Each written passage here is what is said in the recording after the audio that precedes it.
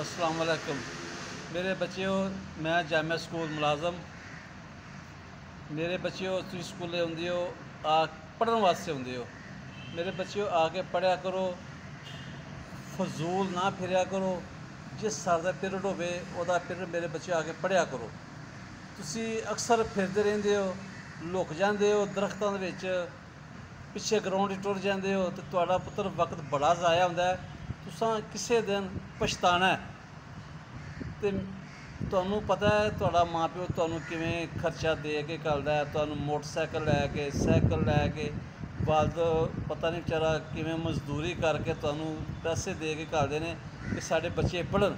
ਅਗਰ ਤੁਸੀਂ ਪੁੱਤਰ ਨਾ ਪੜੋ ਤੇ ਬੜੀ ਹੀ ਮਾੜੀ ਗੱਲ ਹੈ ਆਪਣਾ ਅੱਛਾ ਮਿਆਰ ਬਣਾਓ, ਅੱਛਾ ਖਾਓ, ਅੱਛਾ ਪਾਓ, ਅੱਛਾ ਦੋਸਤ ਬਣਾਓ, ਪੜ੍ਹਨ ਵਾਲਾ ਬਣਾਓ। ਦੂਸਰਾ ਚਸੀਆ ਭੰਗੀਆ, ਦੋਸਤਾਂ ਮੇਰੇ ਬੱਚੇ ਬਣਾਓ।